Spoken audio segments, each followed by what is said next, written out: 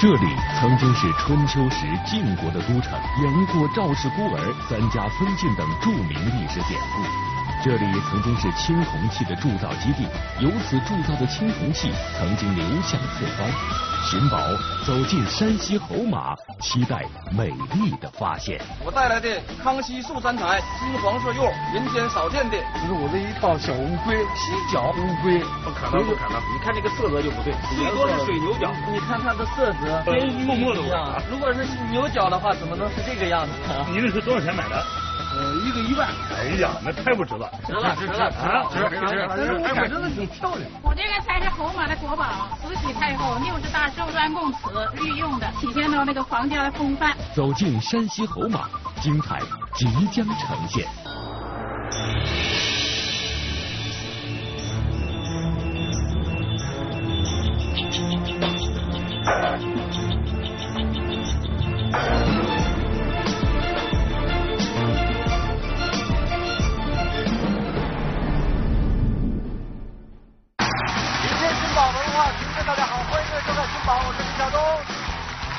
今天走进了山西侯马，侯马呢是陕西、山西、河南三省交界之地，这里也是中华文明的发祥地之一。通过海选，我们已经发现了很多的宝贝，山西侯马寻宝之旅一定会让大家大开眼界。本节目由五粮春特约播出，千里挑一来看第一件藏品——大雅斋。来，有请这位藏友。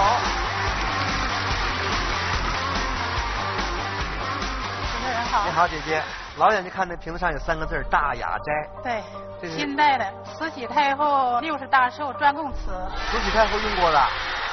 可能是吧。你怎么知道它是专供慈禧太后用的瓷呢？我在网上查了一下嘛，六十大寿的这个专供瓷就是这个样子。这瓶子怎么来的呢？我父亲就是解放前后的时候，经常做一些生意，走南闯北的，他就喜欢买一些东西回来。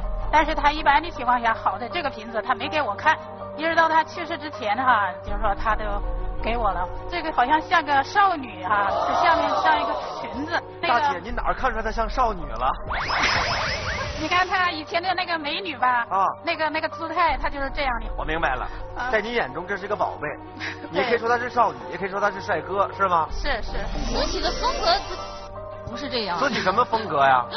她喜欢用很奢侈的。慈禧她虽然是个女人哈，爱一些富贵花草之类的，嗯，但是她更喜欢江山，所以她那个大寿的时候用这种方式最好了。对了，人家爱江山，对，所以画的是大江大陆。是啊，我觉得这个画面的寓意特别好，因为慈禧嘛出不来嘛，她想看看风景，就就看看这瓶子上的山山水水的。虽然那个生活困住了她，她的心灵还是能够飞出去的。所以我觉得这个藏品是真的。谢谢啊，谢谢。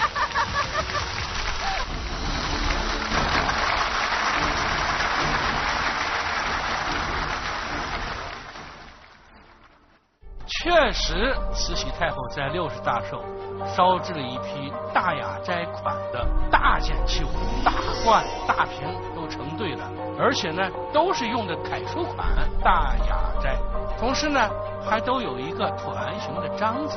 这个呢是一个蛋黄釉地加了这个胭脂紫彩画的一个通景山水，这种装饰方法呢。在大雅斋里面呢，还比较少见，一般都是粉彩的花鸟比较多。真的大雅斋的这个椭圆形章子，两边是两条回龙，中间呢是天地一家春篆书款。你看你这个款怎么写的？天在上面，地呢跑到下面去了，把一家春写到中间去了，这个就不符合当时大雅斋这个规范的这种章子。所以这个东西就是现在的。那我也在鼓掌。大姐，这不是真的，怎么你还这么开心呢？现在因为心里面的疑团解开了嘛，以后我就可以知道了真的大雅斋是什么样子。我希望还有下次我拿一点真的，叫这位各位专家再给我鉴定一下。家里还有是吧？我还可以追踪你们，你们下一期到哪里，我也到哪里。好，谢谢您参与寻宝，谢谢。谢谢啊。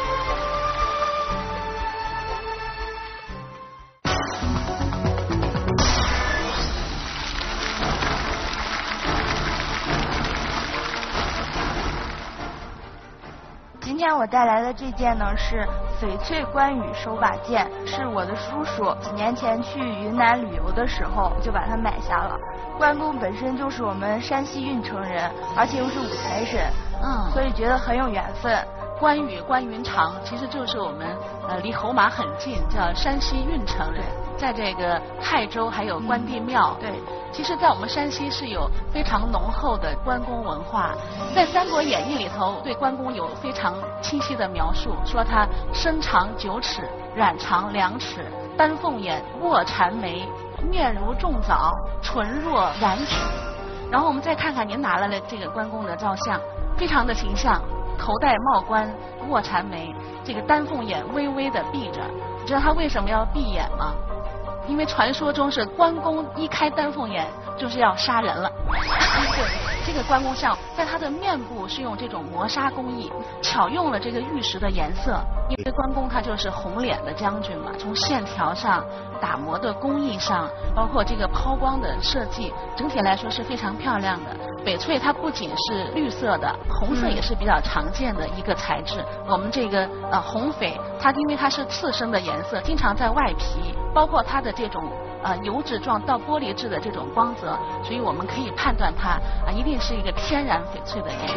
它当年是多少钱买到的？呃，是四万多，四万块，那现在肯定是不止了，十万左右吧。好，谢谢老师。谢 谢老师。来看下件藏品，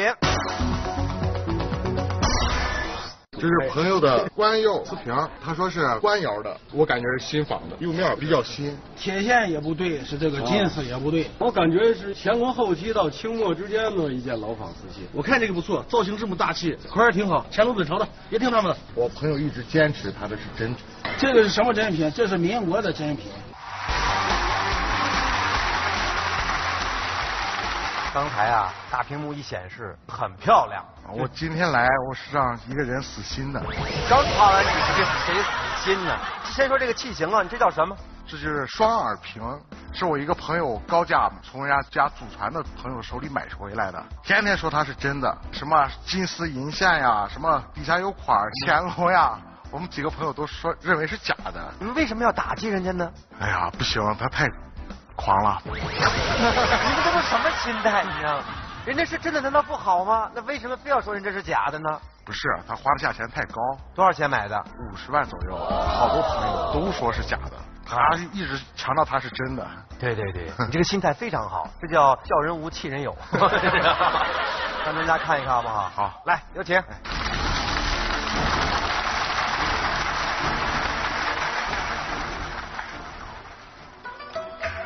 这个瓶子的式样是一种贯耳的，肚子上有一个像杏仁儿一样的，所以说我们就俗称为叫贯耳杏圆方壶，不叫瓶。为什么叫壶呢？因为它这个器型啊，从青铜器、铜方或者叫铜方壶来的，所以称为壶。从宋代时候，五大名窑就仿青铜器的这种贯耳方壶。一直到了清代，这釉子呢，我们称为叫官窑的釉子。那么东西是不是乾隆时期呢？这釉子我们一看啊，很乳浊，像玉质感。这个开的片呢，很自然。底下呢，我们看这涂的层黑，这就是要模仿宋代官窑那种紫口铁足。所以这个东西呢是仿的，但它不是新的。它是什么时代的呢？就是乾隆时期啊，唐英在景德镇御窑厂官窑仿官釉，可以呀、是官窑的，值那五十万吗？这件东西呢，应该很难得。为什么呢？这路东西呢，晚清比较多。真正乾隆的仿官、仿炉、仿宋代的单色釉啊，在乾隆官窑里边呢，原来的价位就是很高的。你这件东西呢，保存完整，毫无瑕疵，一气呵成，应该说价值不菲。二零一二年的十月二十九号拍了一个乾隆官窑仿乳釉的贯耳杏圆扁壶，拍了一百七十八万。但是你这个呢，器型比它小，怎么样也得值个一百万左右。太没劲了！朋友，这东西是真的，哎，拿走拿走拿走拿走拿走。爆好。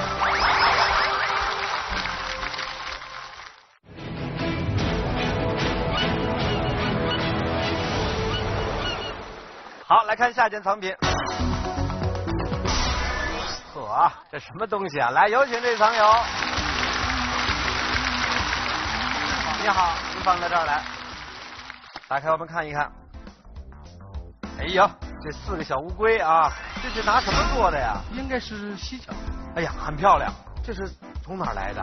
零二年我去平遥古城发现了，多少钱买的？一个一万四万。哟，那这也不便宜啊。但是我喜欢它。我小时候跟我爷爷奶奶在山村里边长大的，我们那附近有一条小河。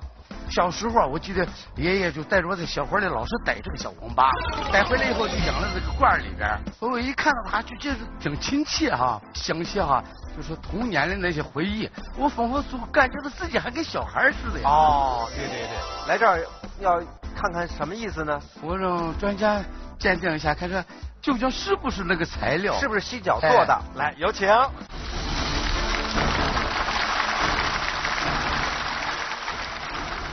您说这个犀角的，那么你有什么依据？你说它是犀角？我感觉它那个鱼子纹挺清楚，发丝纹也很明朗，再个它那个味道也挺味儿的，臭味儿啊！这个犀角一定要按照犀角的本来面目去衡量它，不能光看这个样子有点像，按照这种样子的颜色。要是的话，就是非洲犀牛角。非洲犀牛角它的纹饰是怎么样？是直的，中向的纹饰像甘蔗纹饰。你这个纹饰乱的，一会这样弯，一会那样弯。那么第二点呢，非洲犀角比较长，前边可以六十几公分、八十几公分，后边也有三十公分。前端是实心的，你把实心的那那个角把它劈开，做成四个黄把，可能吗？中间的料到哪里去了？因为这是很珍贵的药材啊，以克为计算。再说这个犀角闻上去是一股腥味，而这个闻上去实际上是一股臭味。所以你这四个小黄八呢，不是犀角的。我估计呢，这一路是以前的独角兽上的那种角，要么就是牦牛。所以很抱歉了啊，没有关系。我觉得这几件东西，不管它是对还是不对啊，其实我对这个藏家这个东西本身能对他的童年产生一些很多的回忆，这可能也是我们在收藏中需要得到的一些乐趣。对他们老话说，道验十丈不如童心一车。我们祝您永远有一颗像孩子般的心，谢谢，快乐健康，好不好？谢谢，谢谢潘金宝，谢谢。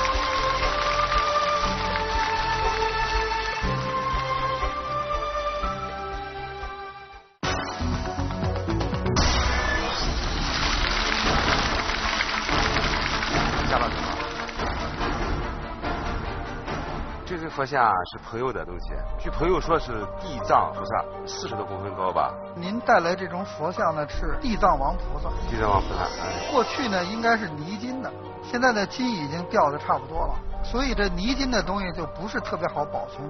地藏王呢本身呢是印度佛教里的，但是我们现在一般人所说的地藏王呢，基本上就说的是现在九华山所供奉的那个金乔觉，他是一个高丽的王子。看破红尘以后呢，到我们九华山出家，一般有站式的，有坐式的。坐式的标准像地藏菩萨就是这样，基本上这是头戴一个花冠，身上带着璎珞，手里边拿一个珠。从您这个铸造里边看呢，是陶范铸造的，就是铸的这个本身比较薄。它的年代呢，应该是明晚清初。清初。就这件佛像来讲呢，嗯嗯，脸部。还有整个各个地方的这个做工的都是非常精良的，保存状况也不错，而且在地藏菩萨做的这种像里边，个头呢也属于大的，它的价值呢应该是在三四十万。谢谢大家。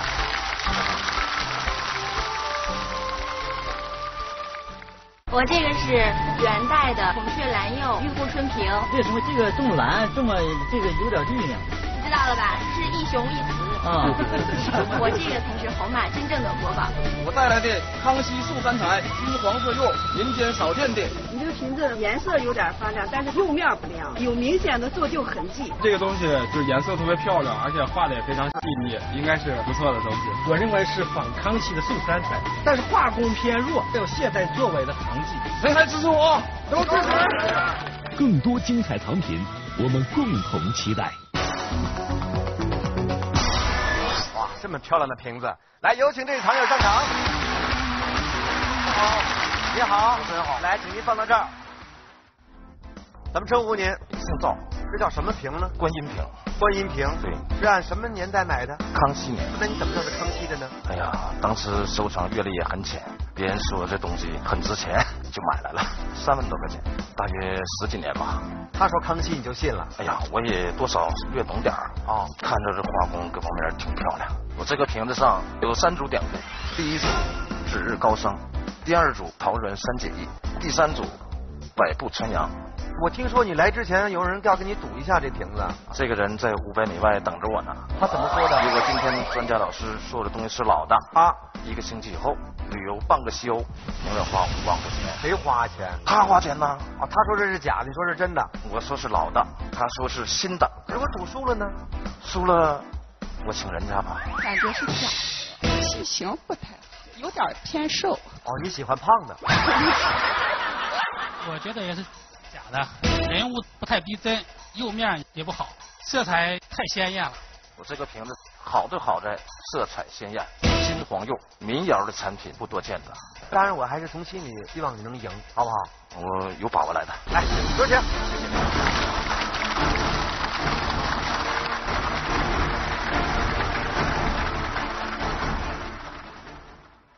这是一个大的观音尊吧？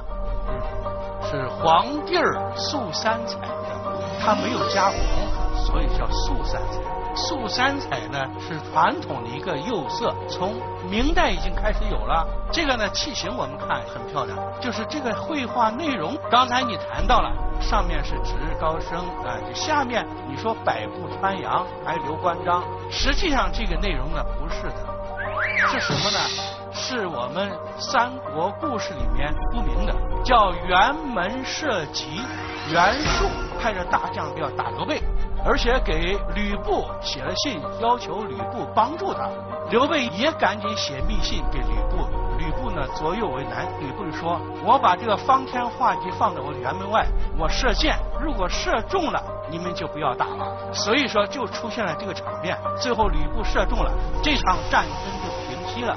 从绘画看来，人物画的还是比较生动的；从胎来看，也是很老旧的啊。这个东西应该不是康熙的，因为它毕竟胎和釉都不够坚硬，特别这个釉子啊比较松软，应该属于光绪晚期，呃，甚至到民国时期的东西是老的。谢谢专家老师。请问专家老师，现在我这个有还有继续有收藏价值没有？呃，有收藏价值，现在这几年也增值好几倍了。二零零四年六月拍过一个光绪的这个苏三彩的天球瓶，三十三万，你这个呢达不到那个水平，应该也就十几万。好，哎呀，不错不错不错啊，恭喜！啊，哎呀，来。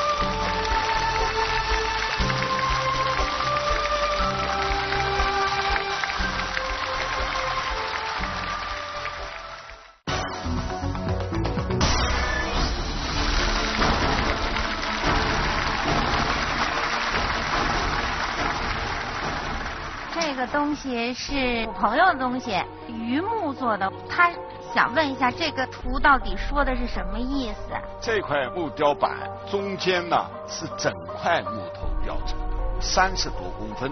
那么也就是说，这个树的直径要超过三十公分。这个木材呢，核桃木。这个核桃木要长到这样的一个直径的话呢，百年甚至几百年才可以。首先，这个材料是罕见的。那么中间雕的东西呢，上边是松，下边是头梅花鹿。松代表的是长寿，鹿代表的是福禄的禄。那么上面还有一些云彩，底下可能还有一些花卉，所以这些图案都交织在一起，就是福禄寿的。雕刻不是很繁琐，但是线条很简练，很圆浑。所以呢就有苏大明的味道。我认为呢，应该是明末到清初这一段时间山西木雕的代表作。它值钱吗？我认为这块东西应该几万块钱。谢谢。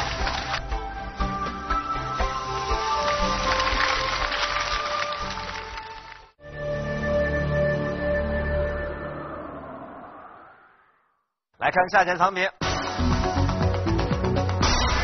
好，有请这位藏友。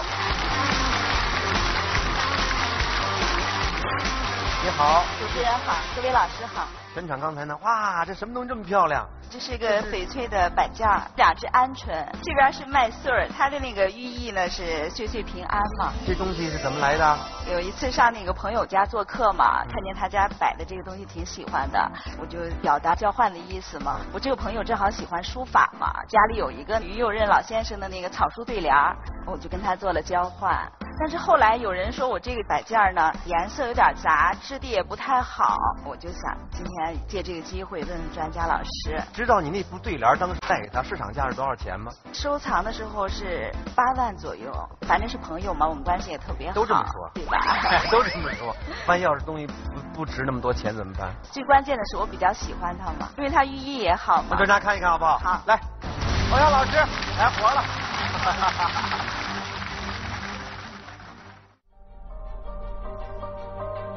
我们这个传统的玉文化也可以说是一种吉祥文化，所以两只鹌鹑，我们就取它这个安，这里是大鹌鹑叼了两颗稻穗过来，所以就是取一个岁岁平安的意思。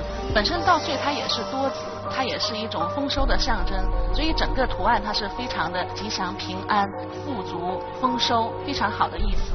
然后我们再看看它的材料，很多种颜色，有绿、有黄、有紫。脚丫的部分也是一个颜色的，所以它是一个多彩的颜色。而且这几种颜色在一起呢，我们并不觉得特别的杂乱，因为它这个巧色用的比较好。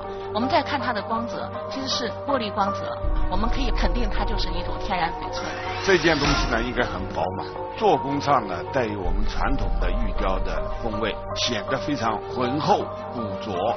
因为它这个材料比较珍贵，你雕的太多，反而把它材料呢。把它雕琢掉。你是哪年用八万块换来的？三年前吧。三年前八万块哈，前面加个一吧，好不好？啊。谢谢，有请。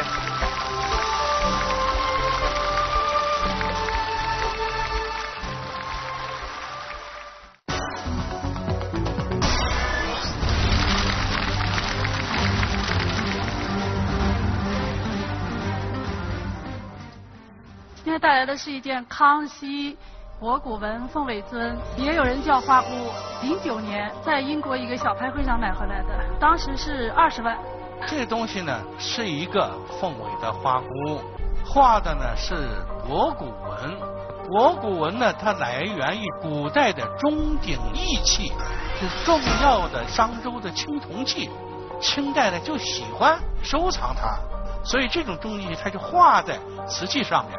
一直到乾隆，甚至到晚清，专门做一个重要题材去画。那么我们看这个器型呢，是康熙时流行的，一直到雍正，到乾隆，康熙的时候这个肩部呢还要丰满一些。到雍正啊，这个肩部成溜肩了，我们俗称叫美人肩。从器型看，这个应该啊是康熙晚期的。我还想请问一下，现在的市场价值是多少？二零一三年的三月二十一号，纽约拍卖一个这样的凤尾花菇，画的是山水，当时就拍了一万二千五美金，到国内啊可能就三万美金了。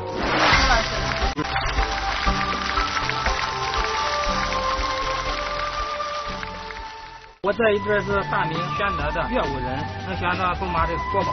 刘金忠过于完美了，没有历史岁月了，有点不地道。中国人都讲究东西就是完美嘛，大开门东西，保存的绝对好，官家多藏的。这是我七年前收藏的一件道教金卷缸，明代晚期的。这边有云中龙，神龙见首不见尾；这边是雾中狮，见头尾不见中，充满了道教这个神秘玄学的色彩。虽然有残，但是非常的漂亮。我希望成为侯马的国宝。期待更多精彩，请您继续关注。我们来看下件藏品，这个造型真漂亮啊！来，有请。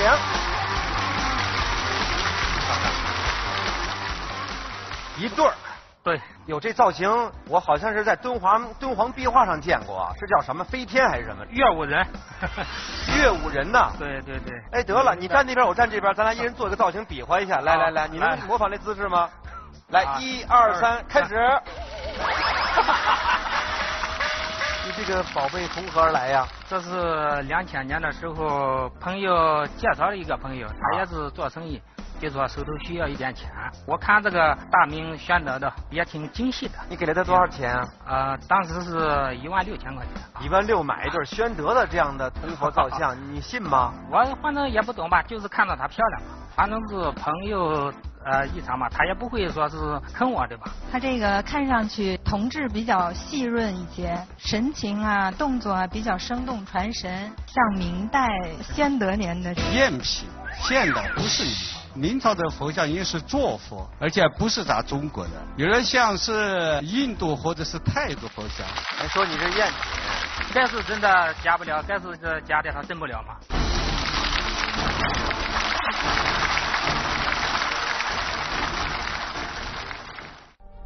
您说的是叫什么乐舞人啊？对对对。啊，其实呢，这种佛像呢，应该是按照这个藏传佛教里边这个知行佛母啊这个主体的形状。据说呢，供奉这种佛呢，可以增长智慧，不得病；增长知识，万事大吉。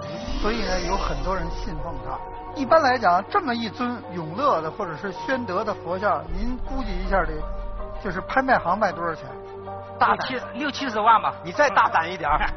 后边还得加个零，哦，有的就上千万，最好的永乐的、永宣的都有上亿的。现在咱们再来回来再说您这个佛，一个是这种造型呢，不完全是藏传佛教里边的，它有点变化，是集中了几种佛合在一块儿。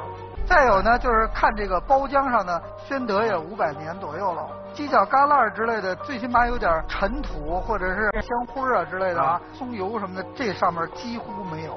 再有一个呢，就是看这佛的这底下，底下的装藏啊，它是装的很死。您这是敲起来是比较空，凡是敲起来比较空的那个，都是后上的底，或者就是仿的，就是新的。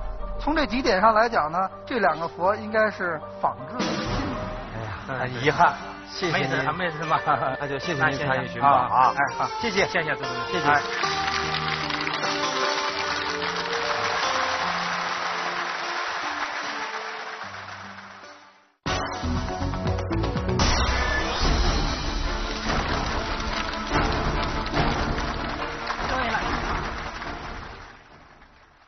这个是我太爷爷传给我爸的，我爸今天让我拿过来让看一下。你知道这做什么用的吗？好像是以前人是往腰带上放的吧？有人说是和田的，有人说是枪料的，这个也不太清楚。这是十一块，应该还是属于新疆和田这一带的。但是这个玉质呢相对一般，可能呢时间久了，所以呢颜色变得这个模样。这个厚度啊将近一点五公分。那么说明这个玉呢耗料很大，这个东西的造型，花卉上面一个鸟，背后还有花卉做背景，我们称之为叫花上压花，做的比较粗犷。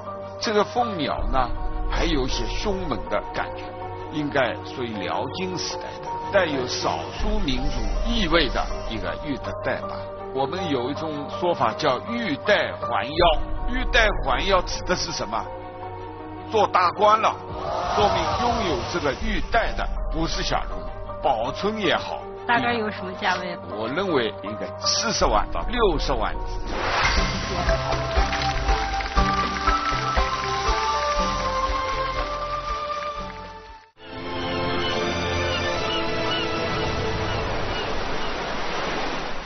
好，来看下件藏品。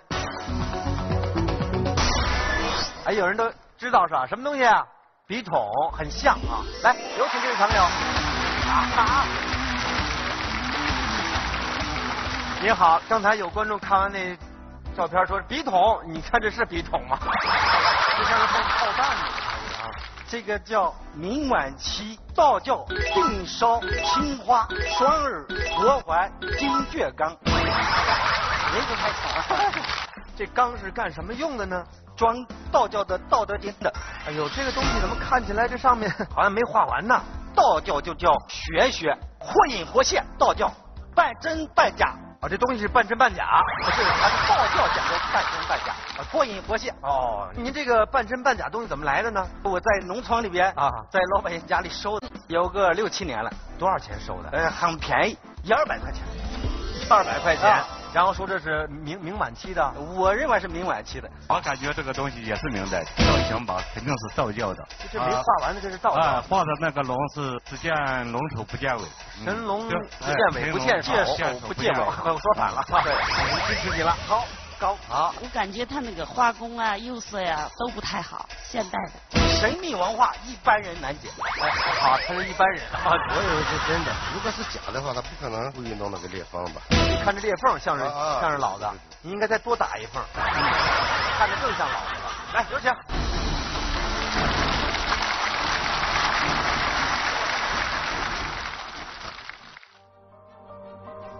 这可是比陈景瑞那个哥德巴赫的猜想还要难的天书啊！上面确实画的很多都是局部的，怎么样去解读它呢？我们知道明代和清代早期有青花五彩，也有斗彩，就是釉下的青花和釉上的彩两次烧制，先画釉下的青花，然后呢烧好以后啊，在釉上。再加五彩填斗彩，这种情况很多。你想这个狮子呢，留出这一部分来，就是要加五彩的，可能是个罗汉，应该属于这个佛教一类的，因为它这个狮子和佛教有关系。再一个，它龙纹呢也是画一部分龙头，那一部分可能要画成五彩的海水和龙的身子，再加上它这个有个摇链。这个东西烧出来以后啊，本来是要加五彩的，但是呢油摇裂了，就做一个次品了，这就成了一个半成品。从这个器物呢，首先肯定它不是新的。我们从这口沿的蕉叶纹和青花料的表现，用笔的纤细和康熙时期的风格很相近，胎子也感觉到很细。说明末也可以，但是呢，应该属于清早期的。它不是你说的道教那些，呃，很神秘的密码，是个半成品。那这东西也是个老东西啊，它还有没有价值呢？价值不高，本身就是残次品。好，谢谢参与寻宝，谢谢谢谢。好。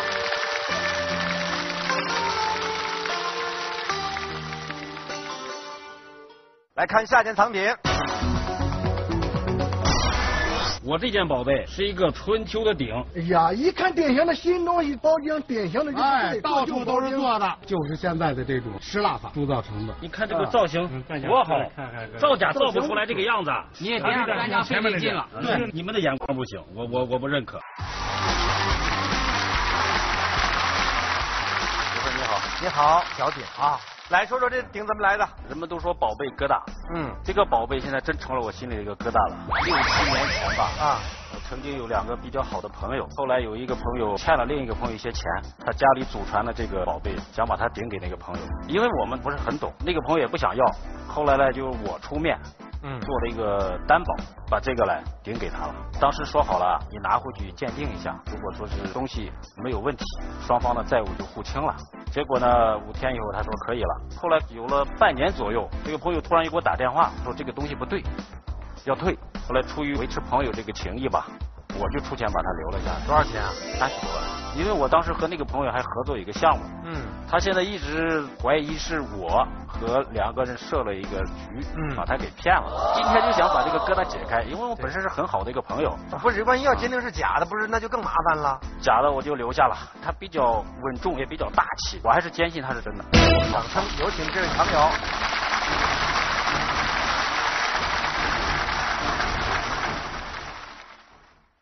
就这个鼎来讲呢，你看这个纹饰哈，应该是潘会纹。这个会是什么意思？会就是蛇，这是当时春秋时期很流行的一种纹饰。三个足上面是兽面纹，而且呢这里边有范线，范线非常的清晰。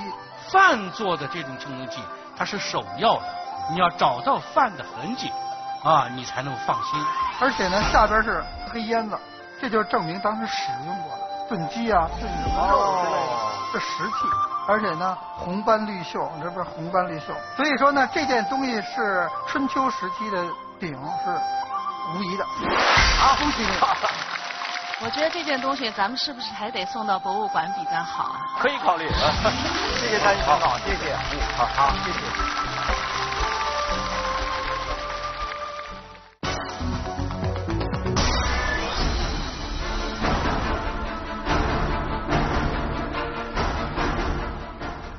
们家收藏有二十多年了，我们家这个金绣呢有一千多件，这个呢是五子登科的图。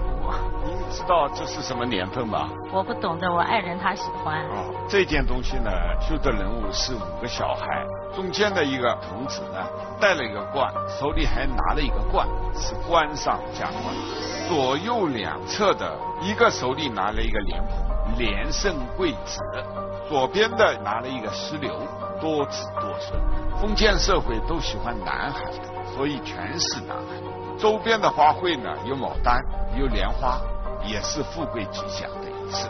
那么这个绣颜色丰富，色彩艳丽，针法呢都是凭针绣，这是典型的我们这边的锦绣。锦绣尽管呃不是我国四大名绣，但是这件东西呢是清代晚期。晋中地区的锦绣代表东西。谢谢专家，谢谢老师。这是一个呀，西制精于倒流壶，清早期的一个倒流壶，造型比较优美，代表中华儿女的智慧的结晶。我觉得它应该当选咱们苏马的明年国宝。这是我大概六年前收到了一件宣统三年的寿瓶，体现的是群仙贺寿，画工、雕工都非常的精美。我觉得这件产品是。非常优秀，尤其是人物刻画，栩栩如生的。放心，国宝就是你的。好，收藏欢乐无限，期待更多惊喜。好，来看下一件藏品。鱼，来有请这位藏友。哈哈。主持人好，你好，这鱼的造型我们看，这拿什么做的？这是我这个藏品啊，是一个锡制鲸鱼倒流壶。什么叫倒流壶啊？比如说水从这儿注进去啊，不会漏，随后这样颠过去啊，这水啊从鲸鱼口中吐出。我找个杯子，你现场先给我演示一下好不好？好。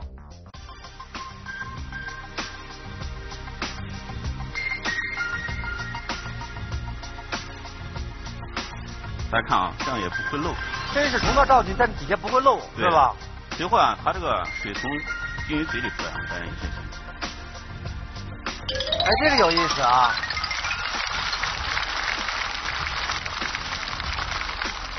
说说藏品怎么来？这个啊，是我去古玩市场啊，特别有眼缘。首先，它造型比较生动；其次啊，这个摊主啊，随即给我演示了一番，所以决定买下。当时是花了六千块钱。这什么时候的？我觉得这个是呀。晚清清朝的时候啊，这个锡制这个倒流壶啊是比较盛行。来，抱着您这个鱼，来让专家瞧一瞧。来，有请。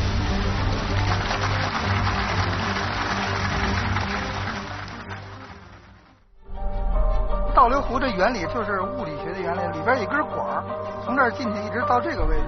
这水倒进去以后，它一倒过来不会流出来，而且只能从这嘴里边出来。锡器最早可以追溯到宋代末期，元明比较鼎盛。现在来讲呢，最有名的锡器是在哪儿？大家知道吗？河南的道口，就是烧鸡的那个地方。哎，有那个酒壶才能吃烧鸡对不对？就是在那个地儿呢，有几条街。鼎盛的时候，每条街上都有三四十家专门做这个锡器的字号。你像我们这上打的这个呢，底下有两个款儿，一个是点铜，一个是兴顺。兴顺就是道口的一个字号。元明时期非常的流行，一直到清末的时候呢，道口做的东西上供给慈禧太后。所以那道口的这个锡器很有名，但是呢，锡器到民国以后就逐渐的消退，那有两个原因，一个是玻璃器出现以后把它给顶了，再有一个呢，这锡呢本身呢含铅，含铅的话对人身体不好，所以这个锡酒壶逐渐退出这个市场。就这件东西来讲，制作呢还是比较精致的，保存的状况也比较好，只是年代比较晚，是清代晚期的。他买的这个价格。也就是现在的这个价格，谢谢。参与制导，谢谢，谢谢。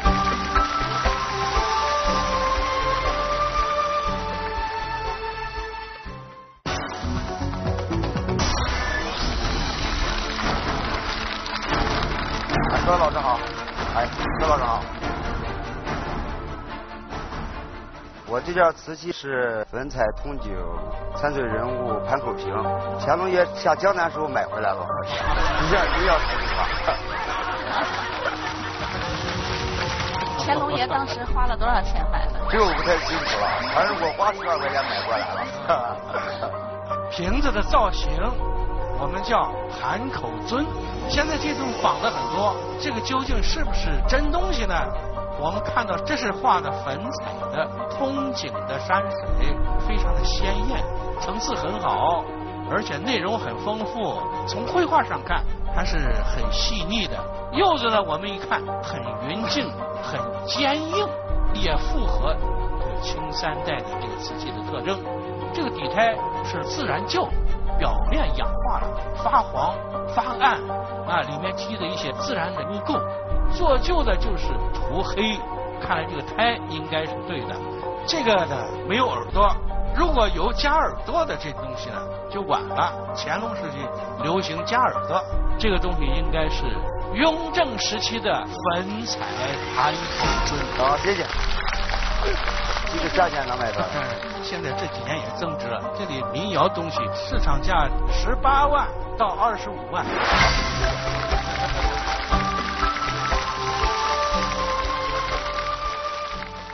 好，来看下件藏品。屏风，来，我们有请这位藏友上场。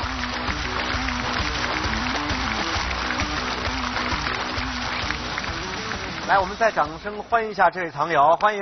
哎呀，大家好，专家老师好，主持人好，还喘着气呢啊！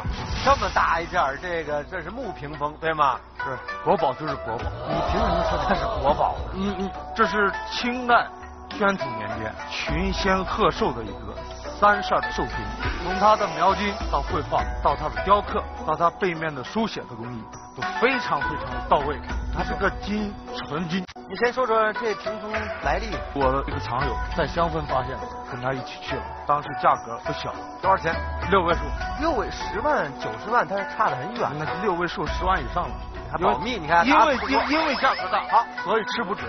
买了吗？完了以后，我给大哥，我把图片给他发过去，最后打电话过来，不惜重金把它搞回来。我说为什么呀？嗯，然后这个东西是咱们侯马的东西，绝不能让侯马东西再在外头飘着。太有这个家乡情节了，所以说是侯马国宝，非他莫属。你凭什么说他是侯马的藏品？我倒是有一个有力的证据啊，这是一个姓乔的老太太七十大寿的时候，她的侄孙们送给她的这个东西啊。啊，这个姓乔的老太太嫁给了我们侯马的杨家，现在杨家的杨老先生我请到了，在哪儿呢？这杨老先生，有请杨老先生，来来来来来，欢迎欢迎，来来欢迎欢迎。好，你也站过来，你站过来，站一起。这屏风跟您家什么关系啊？这是我的太爷爷送给他的伯母乔伯母七十寿诞的贺礼。那个杨凤楼就是您的那个。杨凤楼是我的太爷爷。太爷爷啊！我要感谢我的学生，也是我的好友之子，慧年收成，还是我老祖先的人品，重现社会，回到老家，我荣幸之至。哎呀，好，我明白了。谢谢您，杨老先生。您到台下就坐，我们请专家等会儿看看这这叫屏风到底价值几何，好不好？谢谢您。好，几位专家下来看一看这叫侯马屏风。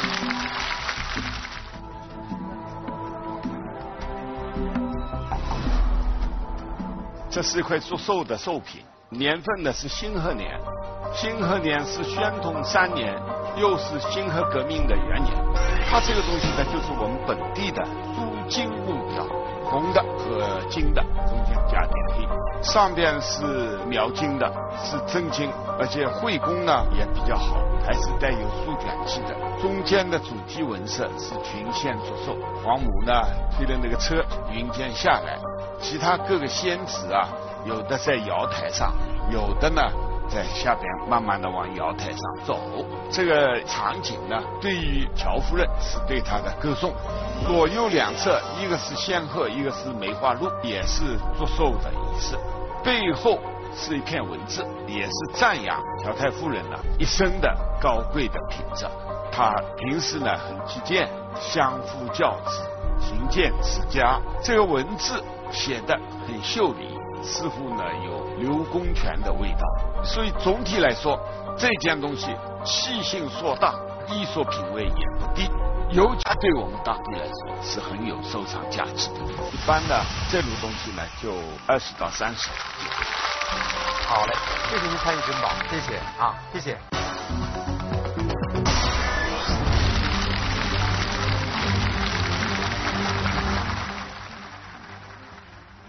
这一对莲子罐是我零六年在朋友那儿喝茶，我看见特别喜欢，然后转让给我，当时花了六万五。因为它是什么年代的？它是个青花五彩的，青花有那种层次感，我感觉像是康熙时候。这两个罐子，我们从远处看像个莲子，所以俗称莲子罐。这种莲子罐呢，流行在明晚期和清早期，一直到康熙。你这里缺了两个盖。这个绘画的内容呢，它有几个字：十月掀。开岭上梅，十月这指一岭，这就是文人在梅花刚刚要开的时候，拿着琴呢去访朋友来一起赏梅，就是这么个文人情绪的东西。这个字它是隶书，隶书呢它是流行在明代晚期，一直到清早期，画的还比较细致，青花料也比较深沉，而且还比较鲜艳，所以这个东西呢。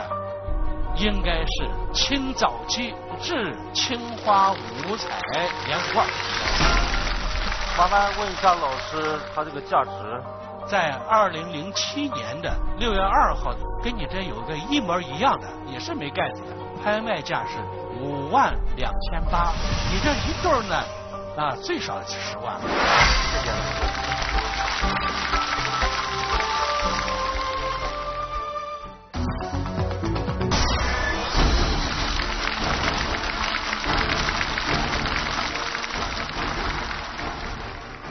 这件宝物是我一个哥在咱们村里边玩的时候，在那个老房子一个佛龛里头发现的。后来问了几个朋友，他们说这是一个陶范儿。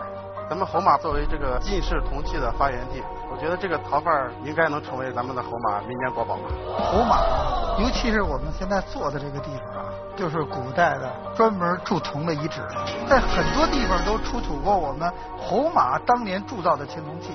这个地方呢，据说已经出土了五万多块就这种陶范，而且有一千多块是可以拼起来的，各种器物是十分难得的。一般来讲呢，我们说是陶范，实际是范和模是两个方面。模范嘛，范是挖进去的，模是鼓出来的。从您这个上面看呢，这应该是模。这些个陶范。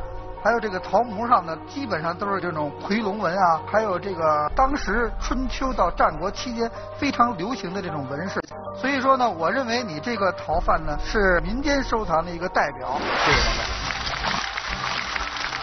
谢谢大家。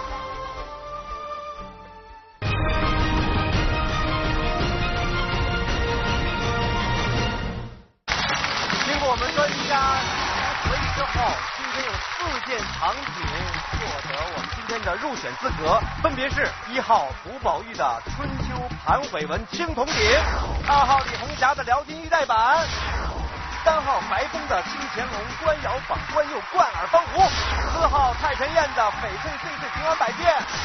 现场观众觉得哪两件能晋级？几号？一号、三号、四号晋级的藏品分别是。一号古宝玉的春秋盘尾纹青铜鼎，还有三号白风的清乾隆官窑仿官釉贯耳方壶。民间寻宝文化寻根剧场，是我们走进侯马的精彩场面。下一场将会精彩继续，再见。